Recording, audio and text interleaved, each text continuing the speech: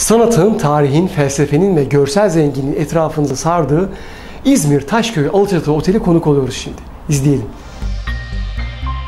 Değerli izleyenler Altın Rehber programımız İzmir Alaçatı'da tüm hızıyla devam ediyor. Bugün Taşköy Otel'e konuk olduk. Yanımda otel sahibi Hasan İyi Beyefendi var. Hasan Bey öncelikle programımıza hoş geldiniz. Sizi kısaca tanıyabilir miyiz? Hoş bulduk. Ee, Ben Hasan İyi.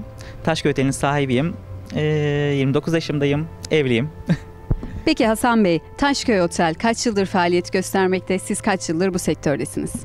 Taşköy Otel 3 yıldır faaliyet göstermekte. Ben turizmde 5 yıldır e, çalışıyorum. Yaklaşık 2 yıl e, kurumsal firmalarda çalıştım ve bu oteli almaya karar verdim. Peki efendim e, Taşköy Otel müşterilerine ne gibi hizmetler sunmaktadır burada? Ee, Biz önceliğimiz huzurdur. Stresten arındırmaktır e, gelen konuklarımızı. Serpmeköy kahvaltısı veriyoruz. Artı 5 çay ikramlarımız var. Ee, annem öncülüğümüzdedir. Bütün reçellerimiz annem tarafından yapılıyor. 5 çayındaki ikramlarımız annem tarafından yapılıyor.